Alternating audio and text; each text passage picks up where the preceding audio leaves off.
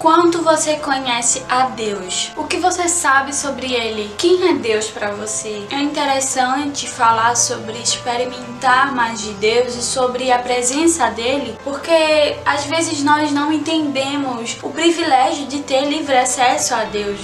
Não estamos falando de qualquer pessoa, estamos falando de Deus, o Criador do universo, aquele que pode todas as coisas, aquele que tem o domínio sobre tudo, aquele que controla tudo. É interessante falar que a presença de Deus no Velho Testamento era algo distante, porque Deus é santo, Deus é santo. A partir do momento em que Adão e Eva pecam, eles se afastam de Deus e eles ficam longe. E nessa visão é importante falar Sempre, para que o homem conseguisse se comunicar com Deus, era necessário um sacrifício, era necessário esperar um ano todo para que chegasse apenas uma hora em que o sacerdote tivesse que sacrificar tudo e apenas o sacerdote tinha acesso à presença de Deus. Era algo restrito, não era qualquer um. A partir do momento em que Jesus morre na cruz como o último cordeiro, como o cordeiro santo, que purifica toda a humanidade todos os pecados, um caminho foi aberto, um caminho à presença de Deus, um caminho acessível a quem Deus é. E é interessante porque muitas vezes a gente não para para refletir sobre todo esse processo e sobre a conquista que a cruz nos trouxe. A cruz nos trouxe uma conquista gigantesca que foi a presença de Deus, acesso livre,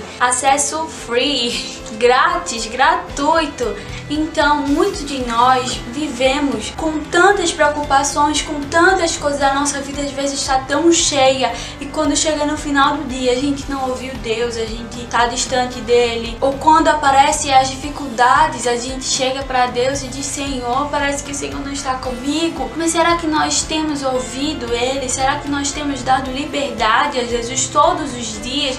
Rotineiramente o que é que nós temos feito com a conquista da cruz, o que é que a partir de Jesus nós temos feito, como nós temos valorizado a morte de Jesus e o sangue tão precioso entregue em nosso favor para que a gente tenha livre acesso a Deus. Eu te garanto uma coisa, se você parar e ouvir a voz de Deus, sua vida vai ser totalmente diferente, o seu dia a dia é diferente, sua rotina é diferente, tudo flui de maneira diferente. Assim como Maria, escolha a boa parte, que é estar aos pés de Jesus. Quero ler para vocês Lucas 10, 38 até o 42 diz assim: Indo eles de caminho, entrou Jesus num povoado, e certa mulher chamada Marta hospedou na sua casa. Tinha uma irmã chamada Maria, e esta que dava-se assentava assentada aos pés de Jesus. Ao ouvir-lhe os ensinamentos, Marta agitava-se de um lado para o outro, ocupada em muitos serviços. Então se aproximou de Jesus e disse: Senhor, não te importas que minha irmã tenha deixado que eu fique a te servir sozinha? Ordena-te, pois, que venha ajudar-me. Respondeu-lhe o Senhor: Marta, Marta anda inquieta e te preocupa com muitas coisas, entretanto, pouco é necessário, ou mesmo uma só coisa. Maria, pois, escolheu a boa parte, e essa não lhe será tirada. Quantas vezes, ou diria, praticamente todos os dias estamos, estamos igual a Marta, estamos como Marta, correndo atrás dos nossos afazeres,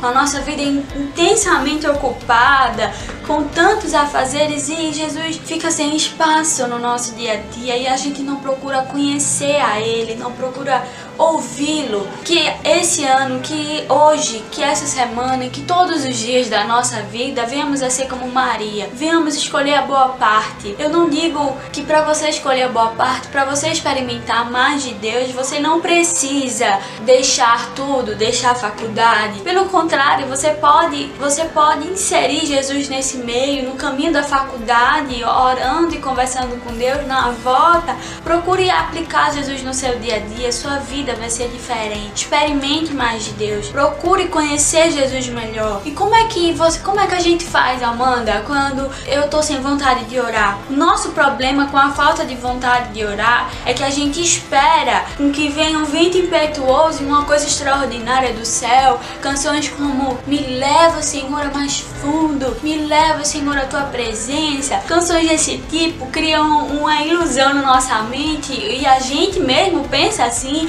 que Deus tem que nos levar até Ele. Só que Jesus já fez o sacrifício. Então é você que tem que tomar a atitude de ir até Ele, de ouvi-lo. Você sabe o caminho, você sabe como é. Então procure ouvir Jesus, procure falar com Ele, procure conhecê-lo, experimente mais de Deus. Uma, uma frase que eu acho linda de uma música de Hilson é que diz que nós alcançamos o céu quando nós alcançamos o céu quando os nossos, nossos joelhos alcançam o chão. Então que venhamos alcançar os céus todos os dias através dos nossos joelhos, através da oração, através do jejum, através da palavra, para que no grande dia venhamos passar a eternidade com Jesus todos os dias e para que sua vida seja diferente. Então, esse foi o vídeo dessa semana. Espero que vocês tenham amado, espero que vocês tenham ouvido a voz de Deus experimentem mais de Deus. Me contem sobre experiências que vocês tiveram com Deus marcantes. Coloca aqui nos comentários e manda para os teus amigos, porque amigo bom é aquele que manda coisa boa,